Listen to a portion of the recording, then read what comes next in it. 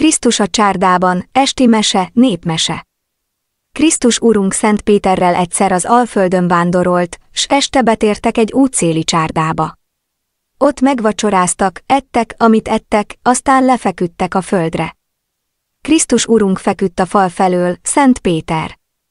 Meg kívül.